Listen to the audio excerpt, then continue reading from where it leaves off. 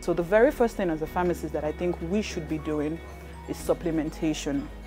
Take your supplements. You are never too old or too young to start using your supplements. Those supplements contain things we call micronutrients, which you ordinarily would be getting from food, but because we like to overcook our efo riro, if you haven't fried the egg until it's black, you're not ready to eat it. So when we cook in that way, we lose a lot of nutrients that we require.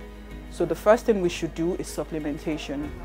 The second thing that I believe that we should be doing as individuals to increase our health and make it as optimal as possible is a bit of exercise. Now, I know exercise is not for everybody.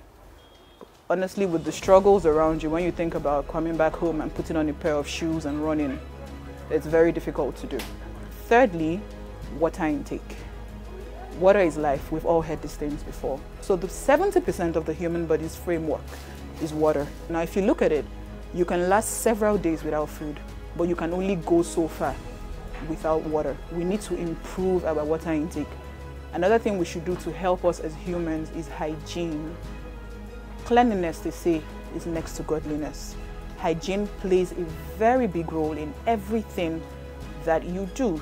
You cannot be taking ciprofloxacin for typhoid and you're not ensuring that the water that you're drinking is clean and that it's safe.